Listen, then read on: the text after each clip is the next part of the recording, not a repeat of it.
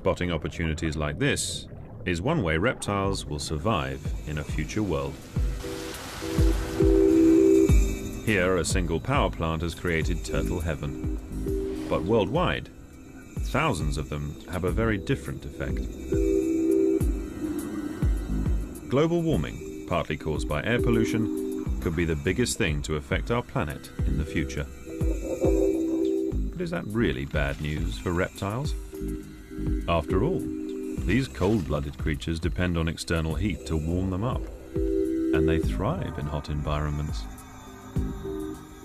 It's possible a rise in temperature might give reptiles a boost. But changes on such a huge scale are hard to predict. And for some reptiles, the outside temperature holds another vital card. It decides their sex. These pink flags mark painted terrapin nests on the banks of the Mississippi. Studies have revealed that when the air is warmer, more females hatch out than males.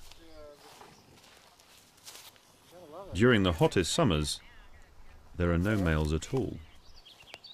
Obviously, if this happened every year, the terrapins in this area would become extinct. In the past, if one place got too hot, reptiles could simply find a cooler area to lay their eggs. Now, space is more limited. When it comes to finding a home in the modern world, it's a case of location, location, location.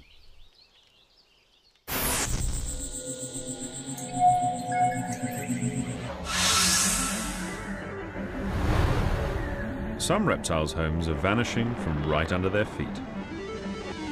In South Africa, dwarf chameleons are perfectly formed to move around their native vegetation, using specialist gripping feet and a prehensile tail. But like many other places, Cape Town is the focus of a huge property boom, and remaining pockets of wild land are being cleared.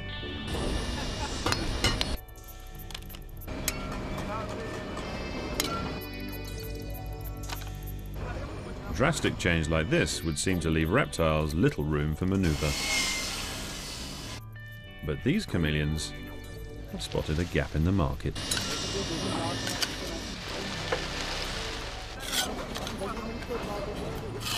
As the builders move in, immaculate suburban gardens offer them a brand new home.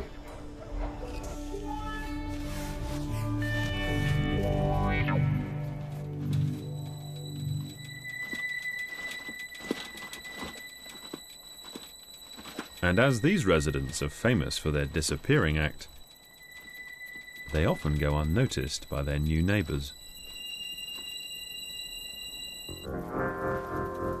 Best of all, the chameleon's new residence comes with a restaurant attached.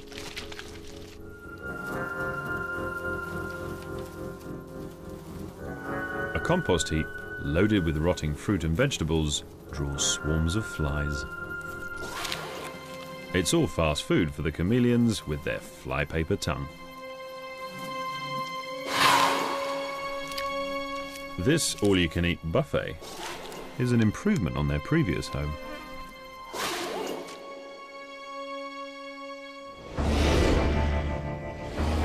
The chameleons carve up their des res into individual territories and don't appreciate the neighbours dropping by.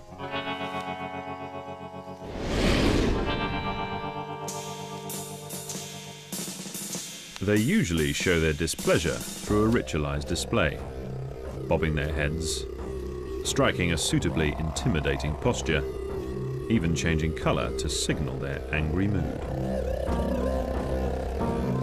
But sometimes this mimed combat escalates into a claws-on fight.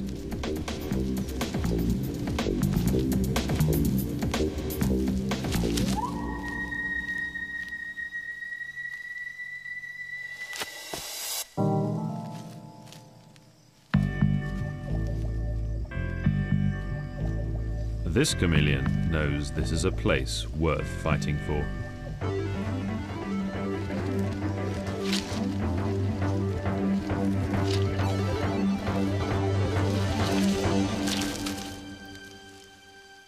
We may have pushed them out of their natural habitat, but they're now doing very well in ours. Finding a space in the expanding human world is probably the best way reptiles can improve their prospects for the future. Another lizard has managed to infiltrate the very heart of city life.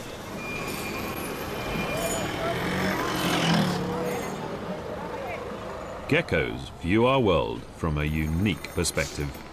And in Bangkok, they explore the streets. It seems a million miles away from living in the trees.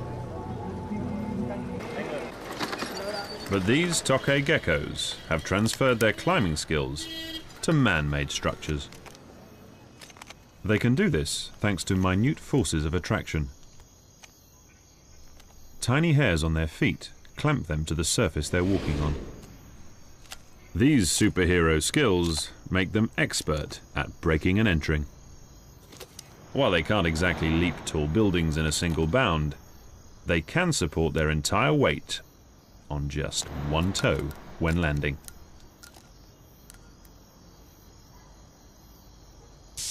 The human world provides a dazzling new arena for the geckos to explore, and they've quickly learned to make the most of it. Places full of food and people also draw crowds of tasty insects.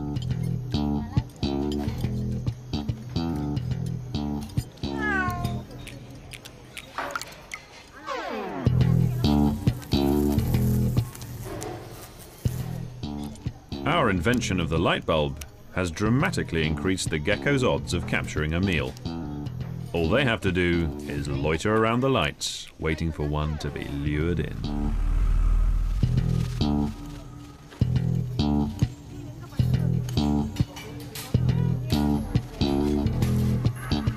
Not only do they have a superhero's grip, their strike speed would put many to shame. Since geckos prey on insects, we don't mind them sharing our space. So geckos have got what it takes to thrive in the urban jungle. In fact, in most tropical cities, they outnumber us.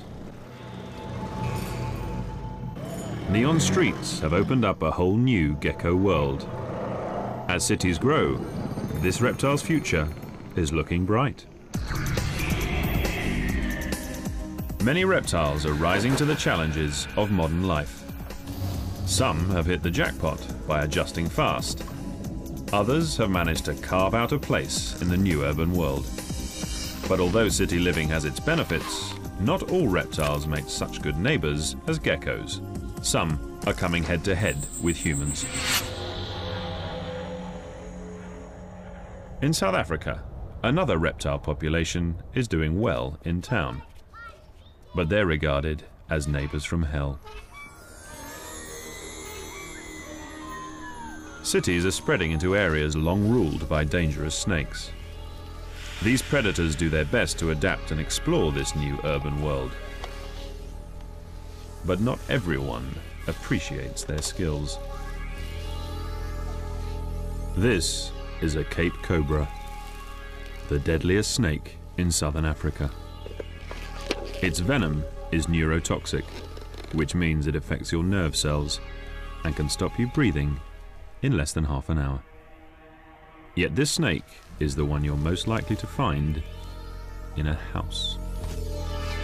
Unlike most snakes, cobras don't seem bothered by the strange objects and scents that fill the human world. They make themselves at home. It's thought some even come indoors as a refuge from the midday heat.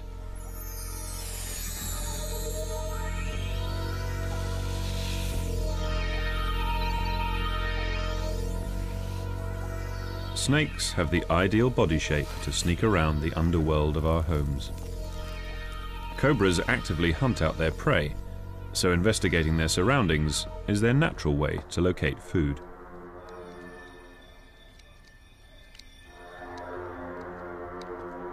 Rodents are a magnet for them.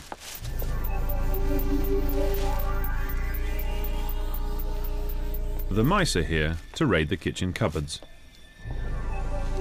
So far, they've gone unnoticed by the people who live here. But a snake doesn't have to see them. It can pick up their scent from outside. Cold-blooded cobras have been hunting warm-blooded mice for thousands of years. The human world simply provides a different backdrop.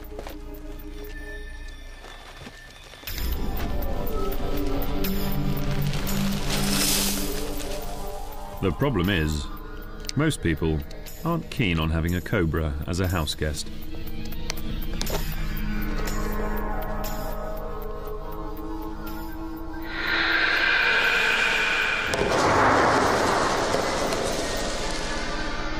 It's lack of space that creates a conflict between people and reptiles.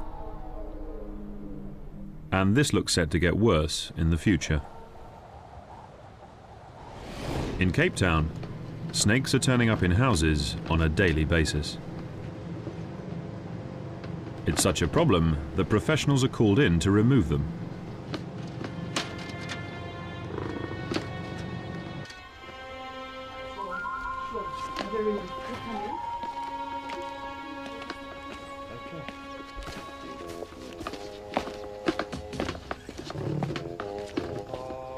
If you want to catch a cobra quick, you'll need a secret weapon.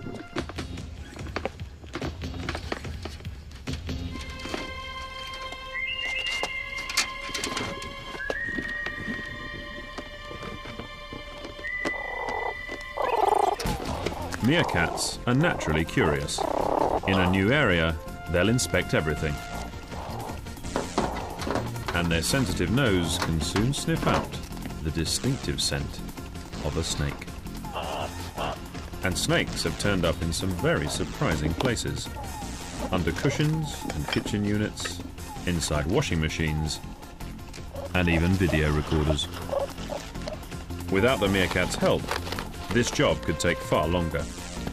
And it's not as risky for the meerkat as you'd think. They actively harass snakes in the wild.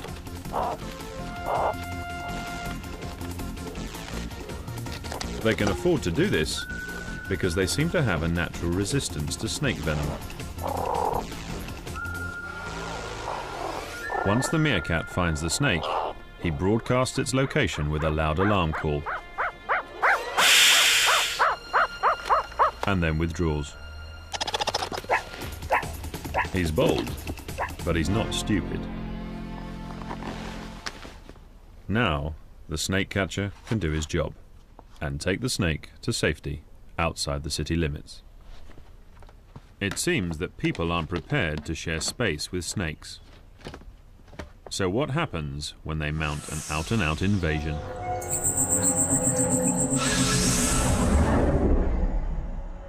The Pacific island of Guam is thousands of miles from the nearest landmass, and its unique wildlife has evolved in isolation. But in the 1950s, something strange began to happen to the island's forests. Most birds mysteriously disappeared, leaving insects and spiders to run wild. It became a sinister world, teeming with creepy crawlies. Even stranger, snakes began to appear. But Guam has no native snakes. So how did they get here?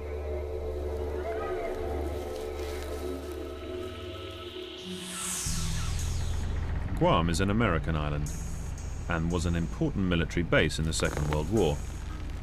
The increased traffic opened the door for those hitching a ride. And nothing is better designed as a stowaway than a snake. Just one pregnant brown tree snake en route from Australasia would have been enough to launch the invasion.